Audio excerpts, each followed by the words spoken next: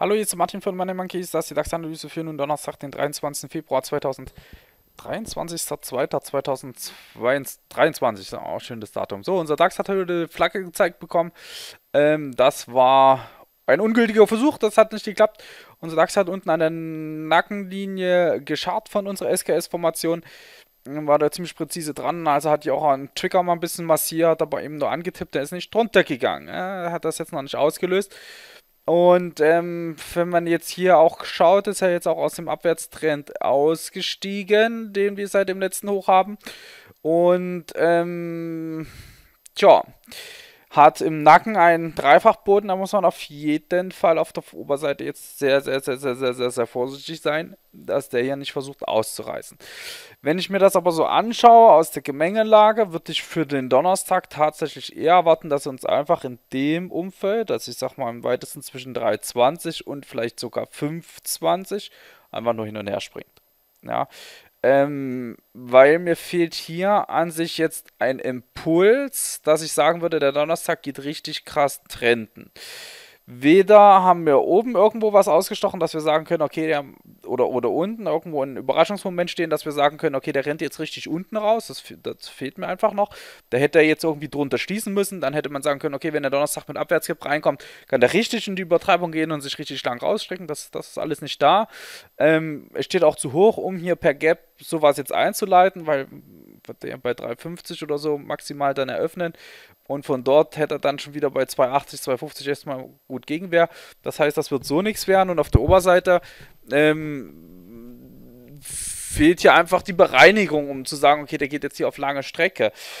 Am, Im Grund, also grundsätzlich ist, wisst ihr, wir sagen das fast jeden Tag, alles an der Börse möglich. Ja, wir kennen nicht die Zukunft, sondern wir versuchen einfach nur aus dem Verhalten, was wir aus der Historie vom DAX in bestimmten Situationen zu kennen, versuchen wir zu schlussfolgern, wie könnte er sich denn morgen verhalten. Und da muss man sagen, typischerweise würde er jetzt in einer solchen Situation eben nicht auf lange Strecke gehen, ähm, oben, aber eben auch nicht unten. Das heißt aber nicht, dass er es trotzdem nicht kann. Ja, das ist immer ganz wichtig, immer noch mal ein bisschen vor Augen zu halten, was machen wir hier eigentlich? Ne? Ist es Hellseherei? Nein, ist es nicht. Es ist einfach eine Abwägung von Risiken, es ist eine Bewertung von Wahrscheinlichkeiten. Und wenn wir sagen, mit, ich sag mal, 80% Wahrscheinlichkeit handelt unser DAX zwischen 5,20 und 3,20 einfach hin und her, heißt das ja nicht, dass er trotzdem was anderes machen kann. Das nur noch mal ein bisschen zur Betonung, dass der eine oder andere das ein bisschen im Kopf hält, wenn ich ähm, so eine Aussage treffe. Ähm, das ist nie absolut, das ist einfach eine Erwartungshaltung. Und ähm, wir versuchen diese Erwartungshaltung für uns zu nutzen, in dem Moment, wo wir sehen, okay, der, der Markt bewegt sich auch wirklich in dieser Erwartungshaltung. Ja, und Erwartungshaltung wäre eben, er kommt vielleicht am Vormittag ein bisschen nochmal nach unten, 320, 350, dreht sich dann wieder hoch, sticht oben nochmal drüber oder macht es auch andersrum, es wäre genauso legitim, sticht nochmal an die 520, 550 rein, dreht sich dort wieder rum und kommt wieder zurück. Das wäre meine Erwartungshaltung. Positiv überraschen würde, ich, würde er mich mit einem Stundenschlusskurs oberhalb von 15 ja, 5,50 sogar, weil er sich dann eben Übertreibungspotenzial oben aufmacht. Oder eben auch ein Stundenschlusskurs unter 15,240, weil er sich dort eben den, den, den Übertreibungsspielraum unten öffnen würde. Aus der Position, wie er steht, finde ich, wäre das aber.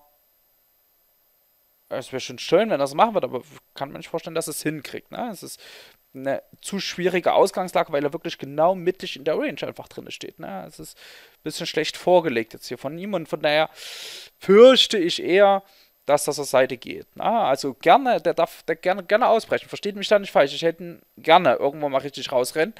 Aber so rein von dem Schlusskurs auch, wie er sich jetzt nochmal hochgezogen hat und positioniert hat, ähm, ist das nicht unbedingt eine gute Ausgangslage, um hier eine, eine richtige Strecke wegzuziehen und wegzuschrubben. Also fehlt, um oben rauszustechen, fehlen einfach hier richtig Bereinigung. Da hätte er tiefer stechen müssen, da hätte er irgendwie überraschen müssen, so 500, 1,50 und dann voll den Konter. Das hätte genug Wirkkraft und genug Zwirbel gehabt, um hier oben wirklich lang raus zu können. Ich denke, wenn er so oben rausrennt, dann kriegt er bestimmt im Bereich um 500, 550 dann eben auch schon wieder um. Ja, also das wäre die Erwartungshaltung. Wie gesagt, positiv das Momentum halte ich für realistisch oberhalb von 550, dann rechne ich mit 620, 700, 750 und vielleicht sogar mehr. Nicht zwangsweise gleich zum Donnerstag, sondern über den Freitag dann hinaus. Aber dann würde zumindest die Strecke erstmal aufmachen und anrennen. oder eben geht unten in die SKS-Auflösung, die ist ja noch immer nicht aktiviert. Ja, ist noch nicht aktiviert. Nur weil er an der Nackenlinie rumkratzt, ist er noch nicht unter die Nackenlinie gefallen. Das ist ganz, ganz, ganz wichtig. Ne? Man muss da Kerzen drunter ausbilden. Da reicht es nicht nur ein paar äh, Lunden und Dochter, oder in dem Falle ja wirklich hier eben die Lunden äh, dran zu stellen, sondern muss halt da auch wirklich durch. Und das hat er nicht getan. Ne? Er hat hier den gleitenden Durchschnitt super verteidigt, die Bollinger Bänder super verteidigt. Also da ist noch, der ist noch nicht raus. Ja, hat da nur dran geklappt und deswegen hier klarer, kann man sagen, Abseitsfehler.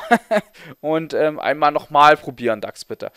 Und wie gesagt, das würde mir Stand dem Schlusskurs oder der Stand der Ausgangslage jetzt fast eher auf den Freitag dann passen, wie jetzt auf den Donnerstag. Also ich kann mir vorstellen, dass er am Donnerstag vorlegt, um sich am Freitag dann gut zu positionieren. Aber ist mir zu hoch zurückgekommen. Ja, rechne hier eher mit Seitwärtshandel auf den Donnerstag nun, weil es ist für die Käufer nicht eindeutig, okay, jetzt geht es wieder hoch, es ist aber für die Verkäufer auch nicht eindeutig, nach dem Motto, jetzt geht's runter. Und das genau zwischen den steht genau zwischen den Stühlen, mit Tisch drin. Ja, und deswegen werden beide ihre Chancen versuchen wahrzunehmen und das kann sich eben auch einfach zur Seite weg ausladen. Ja. Gut. Punkt. Mehr kann ich gar nicht hinzufügen.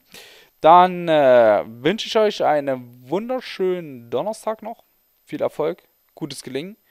Und dann hören wir uns, ja, doch, wir hören uns nochmal für die Analyse zum Freitag. Dann ist ein Seminar, das heißt, am Wochenende ist auch demzufolge keine Webinar. Für unsere Premium-Leute müssen wir mal gucken, wann wir das sonst oder wann wir das dann einfügen, weil ich werde es vorher auf keinen Fall hinkriegen. Wir treffen uns ja alle noch am Freitag dann schon, die Seminarteilnehmer schon auf ein ersten kleines Kennenlernen dann im, im, im Hotel, schon am Abend und trinken dort noch ein Bierchen zusammen alle. Und da kriege ich auch kein Webinar hin. Montag bin ich wahrscheinlich kretenbreit. das, da, wär, da muss, man noch mal, muss ich nochmal in mich gehen, wann wir das Webinar dann nachholen für die Premium-Leute. Aber Morgenanalyse für den Montag kann sein, dass die dann ein bisschen später kommt. Ähm, das Grundsätzliche machen wir mit den Seminarteilnehmern dann zusammen. Und ja, muss mal gucken. Das ist auf jeden Fall. Ich möchte eigentlich nur sagen, das Wochenende ist bei mir echt voll. Wirklich bis zur letzten Minute. Ähm, kann sein, dass dann vielleicht auch die Montagsanalyse erst ein bisschen später kommt. Aber wir haben ja noch einen Tag dazwischen. Ja, jetzt gucken wir erstmal, was wir macht am Donnerstag. Dann haben wir noch einen Freitag dazwischen. Und dann geht es erst ins Wochenende. Und äh, ja. Und dann kommt die Zeit nach dem Seminar. Das ist immer sehr interessant jedes Jahr aufs Neue. Gibt es auch kleine Marktgesetze, aber will ich jetzt hier gar nicht näher drauf eingehen. Also, ich wünsche euch was, viel Erfolg, gutes Gelingen und dann bis morgen. Tschüss.